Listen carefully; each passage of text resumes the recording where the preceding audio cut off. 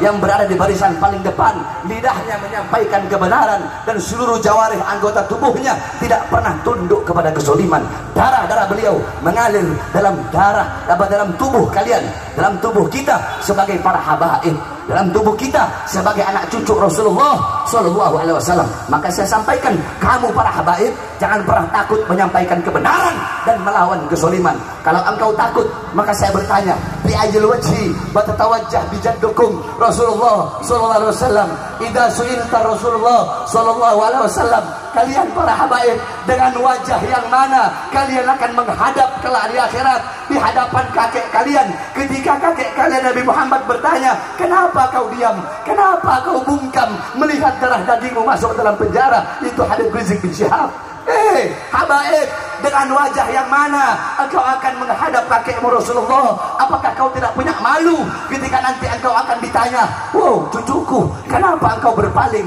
Kenapa engkau menjual darah dagingmu? Kenapa engkau menggadaikan darah dagingmu demi harta, demi pangkat, demi jabatan, demi tahta, demi kekuasaan?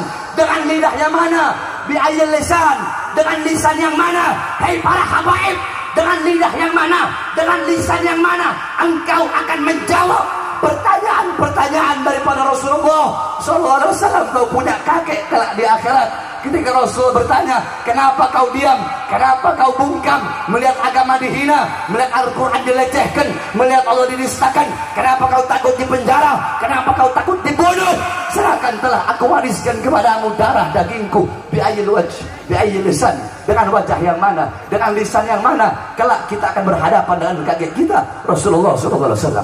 Oleh karenanya sudah cukup selama ini engkau tertidur, saudara-saudara dari generasi ke generasi pasti ada para habaib-habaib yang selalu memperjuangkan kebenaran, yang selalu melawan kezaliman. Dulu ada Habib Saleh bin Ahmad bin Jindan, terus dilanjutkan oleh Habib Naufal bin Jindan, dilanjutkan ada Habib Fahmi Idrus, dilanjutkan Habib Rizik bin Syihab. Sekarang banyak para habaib-habaib. Nah tetapi saya lihat udah tiga tahun ini semenjak saya masuk penjara Habib Rizik ditahan 16 kali FPI dibantai semua habaibnya diem semua Habibnya cari aman. Bahkan ada Habib-Habib yang malah berbelok kepada orang-orang yang zolim saudara-saudara.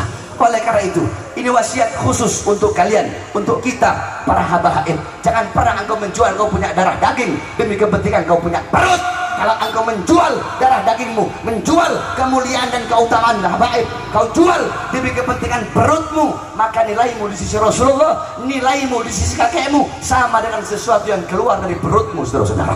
Oleh karenanya jangan pernah takut untuk menyampaikan kebenaran. Jangan pernah takut. Kini saatnya kalian untuk bangkit.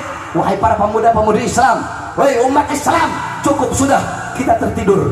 Cukup sudah kalian mendiamkan kezaliman bungkam dan diam sekarang saatnya bagi kalian untuk bangkit buktikan kepada mereka bahwasanya kita tidak pernah rela kita tidak pernah ridho melihat agama kita, Tuhan kita, Rasul kita, apalagi negara kita dihinakan, dinistakan, dijual, digadaikan. Sekarang saatnya bagi kita untuk bangkit. Wahai para pemuda-pemudi Indonesia, apa pun agama kalian, apa pun warna kulit kalian, apa pun suku kalian, bangkitlah kalian, sampaikan kepada mereka, para pengkhianat-pengkhianat bangsa, bagi kami NKRI harga mati. Bagi kami Pancasila harga mati.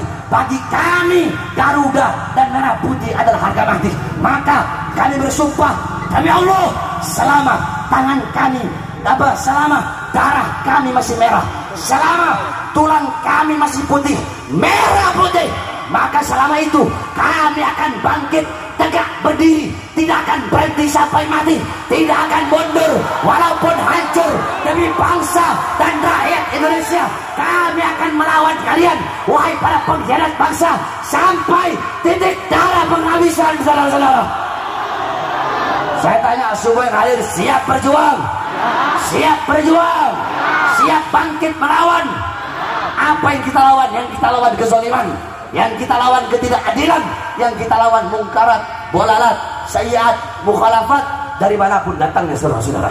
Sebagaimana yang engkau tahu bahwasanya saya telah dilaporkan saudara-saudara. Saya dilaporkan ke Polda Metro Jaya. Ada dua atau tiga laporan. Saudara-saudara sekalian yang dimuliakan oleh Allah disangkanya penjara bisa membuat kapok Bahar bin Ali bin Sumit. Tidak saudara-saudara. Tidak saudara-saudara. Saya orang-orang bertanya Habib bagaimana Habib baru sebulan bebas? Habib sudah dilaporkan lagi. Apa dengan dua laporan. Apa saya jawab saudara-saudara? Saya jawab jangankan cuma dua laporan. Jangankan cuma tiga laporan. Walaupun seribu ada laporan tentang saya demi Allah sejengkal pun saya tidak akan pernah